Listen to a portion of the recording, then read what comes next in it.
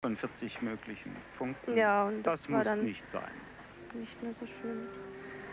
Bridget O'Brien aus Neuseeland, ein bisschen ein Entwicklungsland in der rhythmischen Sportgymnastik. Sie ist 15 Jahre. Es ist ihr erster internationaler Einsatz und sie liegt ganz hinten in diesem Feld der 29 Gymnastinnen aus, glaube ich, 20 Nationen.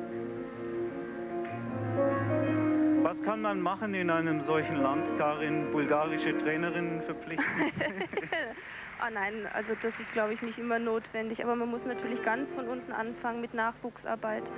Da gehen mehrere Jahre ins Land, bis man dann die Früchte der Arbeit sehen würde.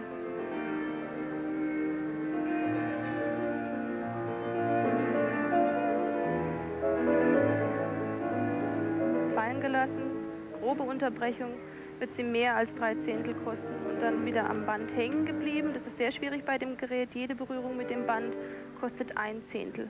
Da schon wieder, das ist eben Technik. Ist auch ein bisschen lang, das Band, sechs Meter, glaube ich. Ja, ja, ist so hinderlich. Ne? Ja.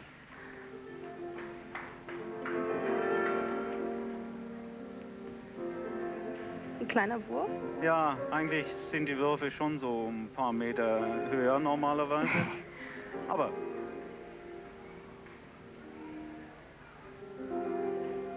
freuen wir uns, dass es rhythmische Sportgymnastik auch in Neuseeland gibt. Zwei Wertungen noch schnell. Tanja Doba aus der Schweiz mit dem Reifen 895 und Goya Rumänien mit dem Ball